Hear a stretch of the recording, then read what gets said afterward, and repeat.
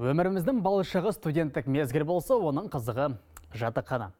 Асханада піскен ас пен балконда ілінген етті ұрлап әкеткен қызықты хикаялар осындай жатақханаларда өткенің ересектердің есінде. Бірақ айтпағымыз бұл емес. Қазір осындай қызықтан 80 мыңға жуық студент айырылып отыр. Дәлірек айтқанда университеттер мен колледждердің осыншама тәлімгерлеріне жатақханаларда орын жетпейді. Бұл проблема бүгін өзектінің ілмегінде.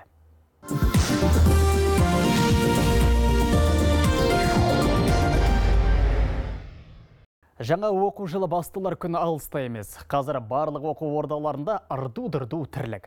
Студенттердің бір қатары жатақханада бөлме алып үлгеріп, құтты орнына жайғасқан үшін шүкіршілік етсе, жатақхана темегендері екідай күйде. Қол жетімді баспананы қайдан табам деген сұрақ мазалайды олардан. Өйткені мұндайда оқу ақысы да жығылғанға жұдырық болады. Бүгінде елде бар 530 мың студенттің 204 мыңы шет аймақтардан келгендер. Бұл жастардың 38 пайызы, яғни 75 мың қыз жігіт әуре сарсанға түсіп, жататын орынға жарыма жүр. Олардың саны әлі де өседі деп болжап отыр мамандар.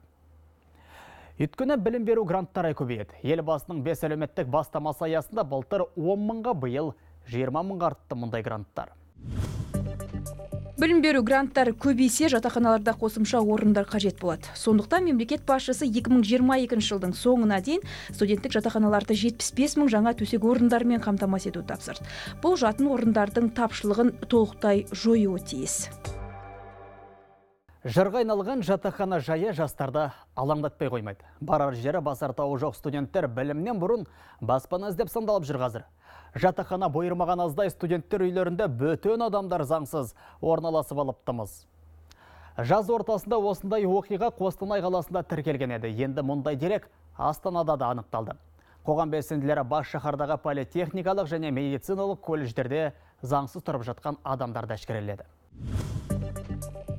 Қоғамдық бірлестік өкілдері Астана қаласында осындай бірнеше келеңсіз оқиғаны анықтады. Мысалы, жатақханалардың бірінде көлік жүргізушісі заңсыз тұрып жүрген. Қазір қалалық білім беру басқармасы бұл фактілер бойынша қызметтік тексеріс жүргізіп жатыр. Жатақханалардағы орындардың тапшылығын жою үшін Астана әкімдігі оңтайлы шешім тапқан. Ол олма, елордалық әкімшілік бюджет қаржысын үнемдеме қойды. Яғни жатақхана салып 9 миллиард теңге жұмсаудың қажеті жоқ дейді шаһар басшысы Әсет Исекешев. Оның айтуына қарағанда 250-300 миллион теңге ақшаны жеке инвесторға төлеп, оның еншісіндегі ғимаратқа студенттерді жайғастырған әлде қайда тиімді.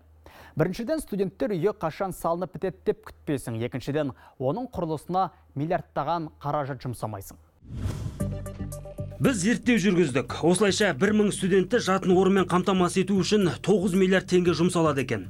Өйткені құрылыстың жобалау құжаттамасын әзірлеу керек. Бұдан бөлек жер учаскесін бөліп нысанның өзін салу қажет. Жатақхананы сумен жарықпен жылумен ұдайы қамту үшін тағы 250-300 миллион теңгені бюджеттен шығару керек болады. Иә, расымен де 75 мың студентті жатақханаға орналастыру үшін миллиардты былай қойш триллиондаған теңге қажет. Ал оқу ордаларында мұндай ақша қайдан табылсын? Сондықтан жатақханалардың құрылысына мемлекет тарапынан жеңілдіктер қарастырылған. Мысалы заңды тұлға 500 орындық жатақхана салдық делік. Енді ол мемлекеттен әрбір жатын орын үшін 82 айлық есептік көрсеткіш көлемінде яғни шамамен 197 мың теңге жәрдемақы алады.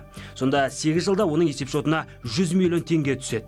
Сөйтіп жатақхана салған компания шығындардың жартысын мемлекет есебінен өтей алады. Бүгінгі әңгіменің өзегі осы, өзекті мәселенің қапы қалмаймын десеңіз, зейініңіз өзекті де болсын. Bye.